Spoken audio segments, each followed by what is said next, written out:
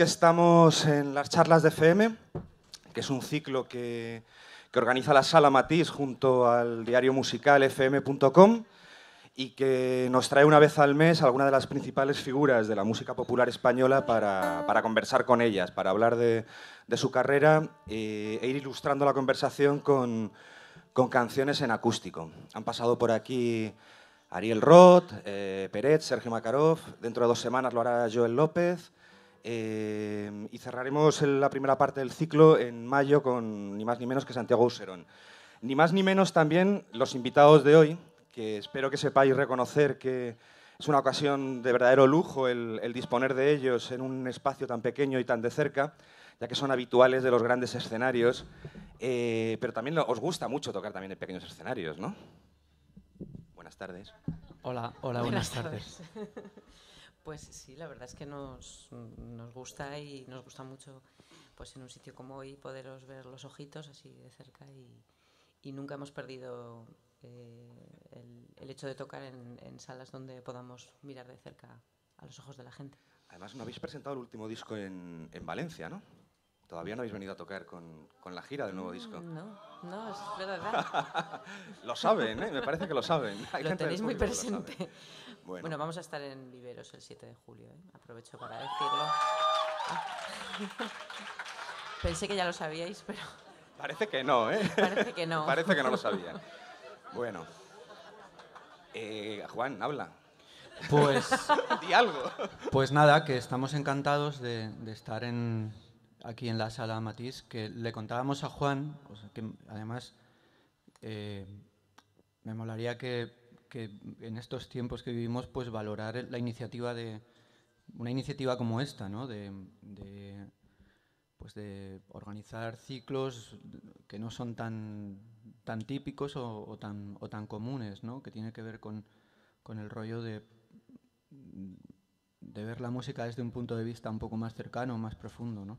Y bueno, lo que decía, que, que esta es la, primera, la, la, sala donde tocamos en Valencia por primera vez, cuando todavía no habíamos grabado ningún disco. Éramos teloneros de un, de un irlandés que se llamaba Aidan Barley, que sus discos os los recomendamos.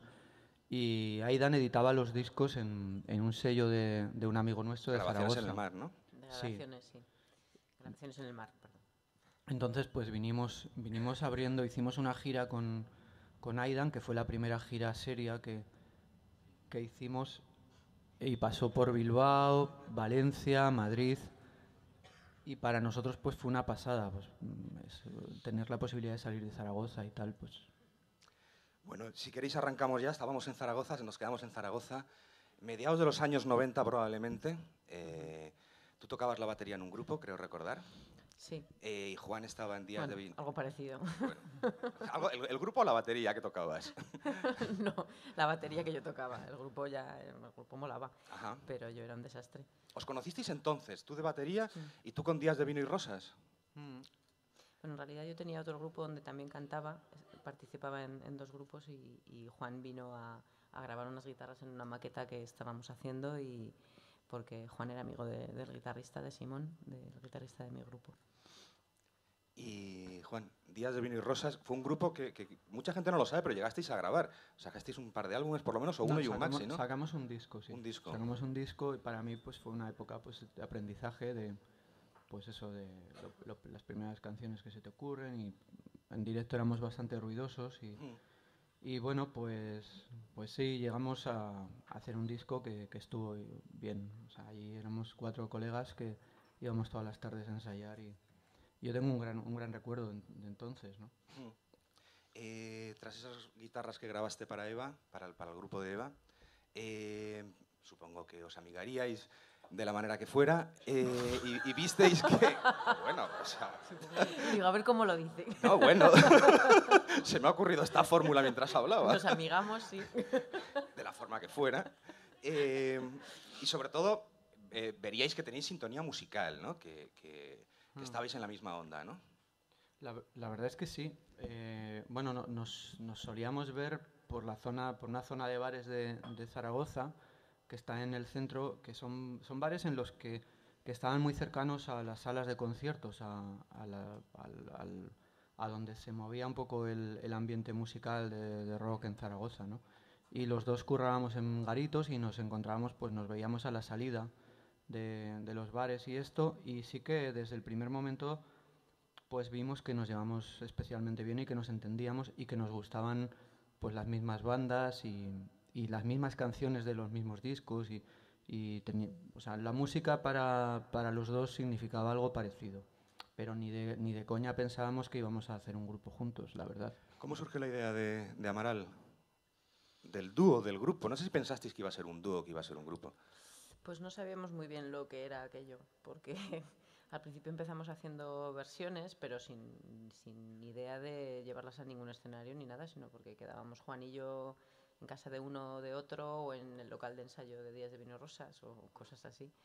Y, y pues hacíamos versiones de cosas que nos gustaban y, y, empezamos de repente a hacer canciones, pero al principio eran experimentales totalmente, era un experimento y, y, bueno, más adelante pues ya grabamos una especie de demo intentando reflejar aquello que hacíamos, pero bueno, no, digamos que no teníamos ningún objetivo, o sea, al principio era todo como un jugueteo, por pasarlo bien, bueno, ahora también, ¿no? Pero... Habléis de canciones, vamos con una, con la primera de la tarde o de la noche, que es Tardes precisamente, que creo que refleja un poco el ambiente de, de los años 90, un poco, ¿no?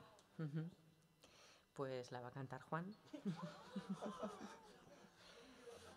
Esto es la noche que cantó Juan y Eva le hizo los coros. Eh, yo, intent, yo, he intentado que la, que la, cantare, que la cantara ella, pero, pero se ha negado, así que... No, porque en los últimos años la ha cantado Juan, entonces, oye, ¿por qué la voy a cantar hoy yo si la canta él? Claro.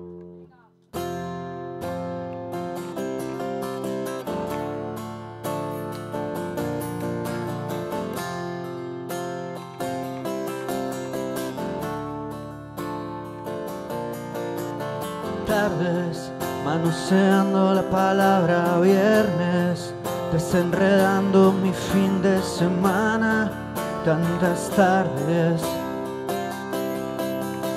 Luego pasa tan rápido y no puedes verlo. Quieres tocarlo, pero ya se ha ido. No lo has visto. Y otra vez echo de menos mi ración de vicio. Hago películas sin presupuesto. Y me duermo.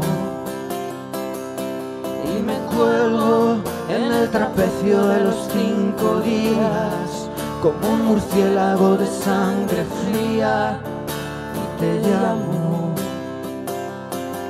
mi caballito de mar mi desequilibrada me dejaría matar por una galopada mi caballito de mar mi desequilibrada me dejaría matar por ver lo que tú ves.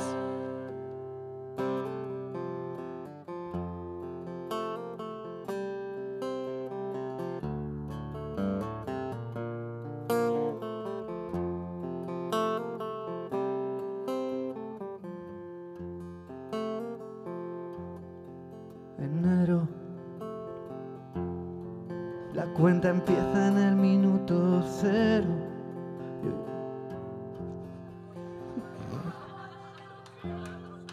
Veo los. Ve, El osóscopo. Bueno, enero. enero, la cuenta empieza en el minuto cero. Leo el horóscopo de las revistas y me río. Que ya pasaron los años 90, que ya cambiaron de lugar las piezas, las fronteras. Y otra vez echo de menos mi ración de vicio y hago películas sin presupuesto y me duermo y me cuelgo en el trapecio de los cinco días como un murciélago de sangre fría y te llamo caballito de mar, mi desequilibrado, me dejaría matar por una galopada. Mi caballito de mar,